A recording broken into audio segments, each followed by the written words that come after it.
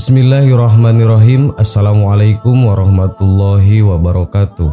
Sahabat yang beriman Khalifah kedua Sayyidina Umar bin Khattab radhiyallahu anhu adalah sosok sahabat yang patut diteladani.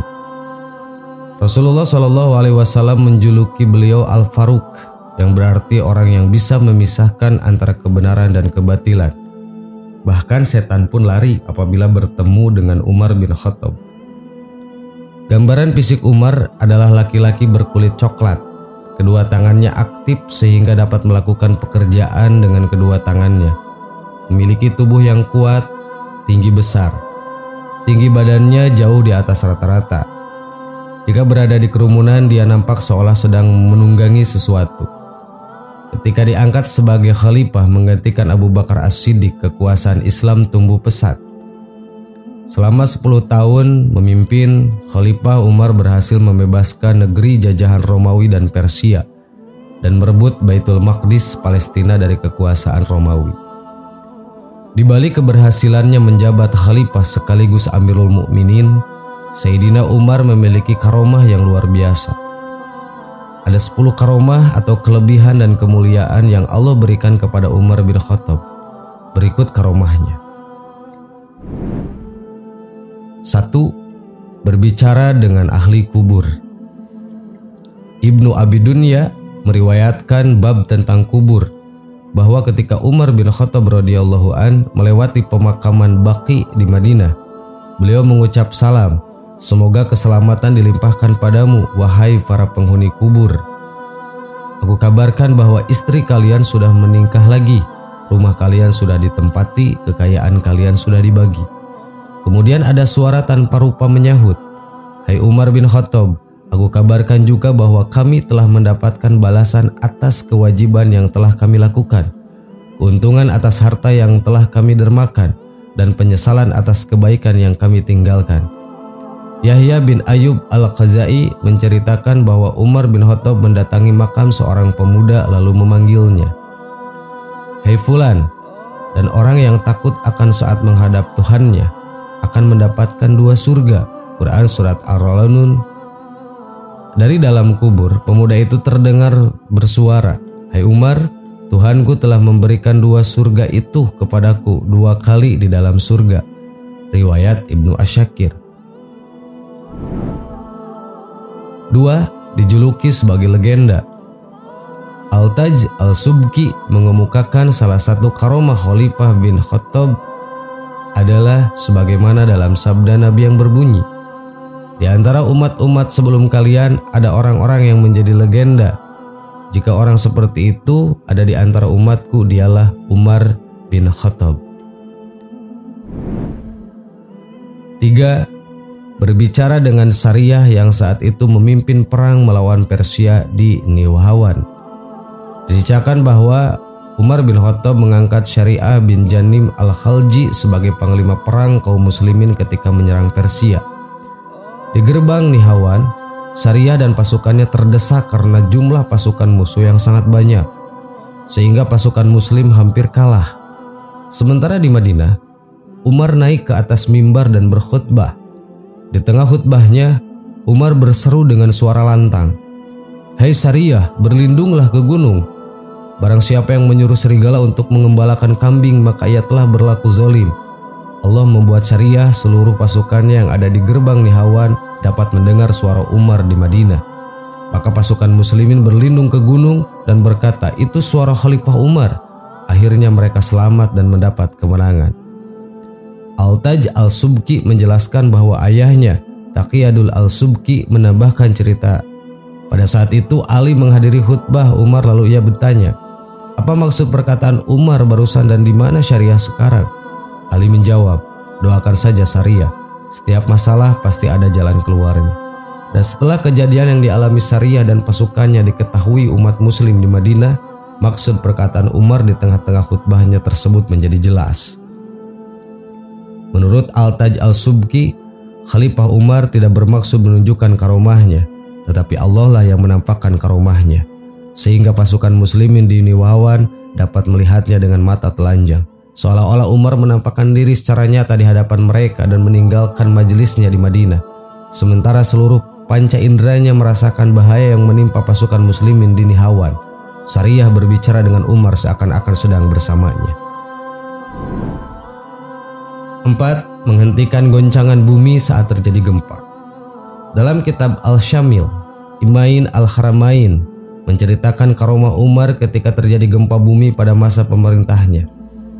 Ketika itu Umar mengucapkan pujian dan sanjungan kepada Allah padahal bumi bergoncang begitu menakutkan. Kemudian Umar memukul bumi dengan kantong tempat susu sambil berkata, Tenanglah wahai bumi, bukankah aku telah berlaku adil kepadamu? Bumi kembali tenang saat itu juga. Menurut Imam Al-Haramain, pada hakikatnya Umar adalah Amirul Mukminin secara lahir dan batin juga sebagai khalifah Allah bagi buminya dan bagi penduduk buminya. Sehingga Umar mampu memerintahkan dan menghentikan gerakan bumi sebagaimana ia menegur kesalahan-kesalahan penduduk bumi. 5 mengalirkan sungai Nil saat dilanda kekeringan. Imam Al-Haramain mengumumkakan ketika sungai Nil tidak mengalir, penduduk Mesir melakukan ritual jahiliyah dengan melemparkan seorang perawan ke dalam sungai tersebut setiap tahunnya. Penduduk Mesir melaporkan hal itu kepada Amir bin As yang saat itu menjabat gubernur Mesir. Kemudian Amr bin As berkata kepada mereka, Sesungguhnya hal ini tidak boleh dilakukan karena Islam telah menghapus tradisi tersebut. Kala itu penduduk Mesir mengalami penderitaan selama tiga bulan karena mengeringnya sungai Nil. Amr menulis surat kepada Khalifah Umar bin Khattab untuk menceritakan peristiwa itu. Kemudian Umar membalas surat tersebut dan menyatakan, Engkau benar bahwa Islam telah menghapus tradisi tersebut. Aku mengirim secari kertas untukmu. Lemparkanlah kertas itu ke sungai Nil. Kemudian Amr membuka kertas itu sebelum melemparkannya ke sungai Nil. Ternyata kertas itu berisi tulisan Khalifah Umar untuk sungai Nil di Mesir yang menyatakan, Jika kamu mengalir karena dirimu sendiri maka jangan mengalir.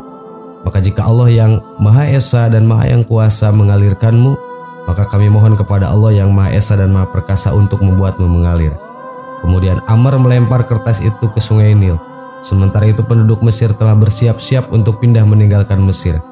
Pagi harinya, Allah Ta'ala mengalirkan sungai Nil 16 hasta dalam semalam. 5. Mengetahui pembunuh sahabat Utsman dan Ali radhiyallahu anhum. Imam Halaromain menceritakan karomah Khalifah Umar lainnya. Umar pernah memimpin suatu pasukan ke Syam. Kemudian ada sekelompok orang menghalanginya, sehingga Umar berpaling darinya. Lalu sekelompok orang tadi menghalanginya lagi. Umar pun berpaling darinya. Sekelompok orang tadi menghalangi Umar untuk ketiga kalinya dan Umar berpaling lagi darinya. Pada akhirnya diketahui bahwa di dalam kelompok orang tersebut terdapat pembunuh sahabat Utsman dan Ali radhiyallahu anhum. 7. Mengetahui orang yang hendak berdusta. Dalam kitab Riyadul Solihin, Imam Nawawi mengemukakan bahwa Abdullah bin Umar radhiyallahu an berkata, setiap kali Umar mengatakan sesuatu yang menurut prasangkaku begini, pasti prasangkanya itu yang benar.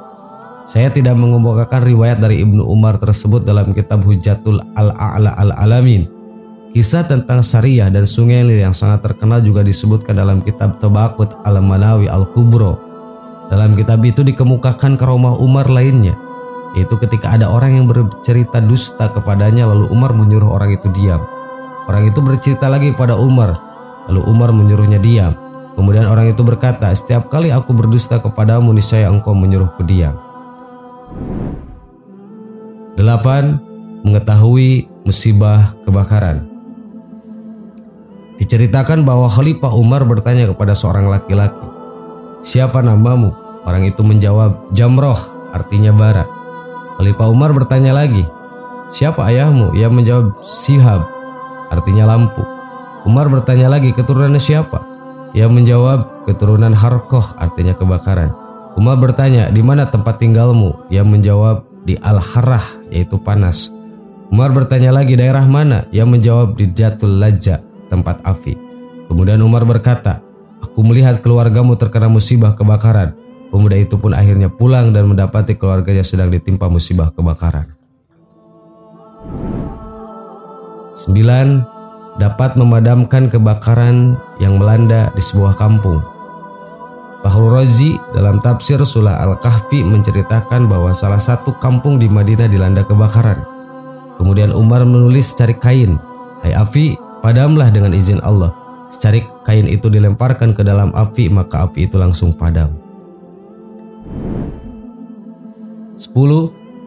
Utusan Romawi masuk Islam Fahru Razi menceritakan bahwa ada utusan Raja Romawi datang menghadap Umar Utusan itu mencari rumah Umar dan mengira rumah Umar seperti istana para raja. Orang-orang mengatakan Umar tidak memiliki istana. Ia ada di padang pasir sedang memerah susu. Setelah sampai di padang pasir yang ditunjuknya, utusan itu melihat Umar telah meletakkan kantong tempat susu di bawah kepalanya dan tidur di atas tanah. Terperanjatlah utusan itu melihat Umar lalu berkata, Bangsa-bangsa di timur dan barat takut kepada manusia ini, padahal ia hanya seperti ini. Dalam hati ia berjanji akan membunuh Umar, saat sepi seperti itu dan membebaskan ketakutan manusia terhadapnya. Tatkala ia telah mengangkat pedangnya, tiba-tiba Allah mengeluarkan dua harimau dari dalam bumi yang siap memangsanya. Utusan itu menjadi takut sehingga terlepaslah pedang dari tangannya. Umar kemudian terbangun dan ia tidak melihat apa-apa. Umar menanyai utusan itu tentang apa yang terjadi. Ia menuturkan peristiwa tersebut dan akhirnya masuk Islam. Menurut Fahru Razi, kejadian-kejadian luar biasa tadi diriwayatkan secara ahad dalam salah satu tingkatan sanadnya hanya ada satu periwayat. Adapun yang dikisahkan secara mutawatir adalah kenyataan bahwa meskipun Umar menjauhi kekayaan dunia dan tidak pernah memaksa atau menakuti-nakuti orang lain, ia mampu menguasai daerah timur dan barat serta menaklukkan hati para raja dan para pemimpin. Sahabat yang beriman, demikianlah ulasan karomah Sayyidina Umar bin Khattab. Semoga kita bisa mengambil hikmah dan bisa meneladani kepemimpinan beliau. Allahu alam.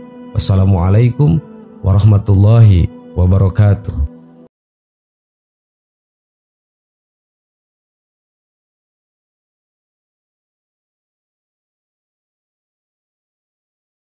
Subhanallah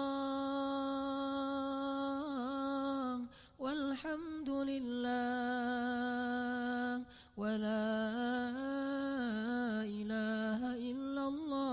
wala أكبر. سبحان الله.